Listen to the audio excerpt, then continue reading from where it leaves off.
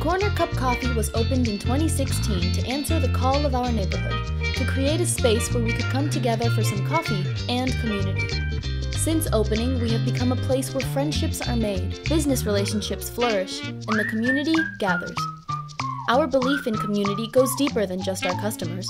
We also support local businesses by using coffee beans roasted in Decatur and freshly made baked goods sourced from a variety of Atlanta area vendors. The Corner Cup Coffee is located just inside 285, behind a Citgo on Lawrenceville Highway and McClendon Drive. Come for the coffee, stay for the community.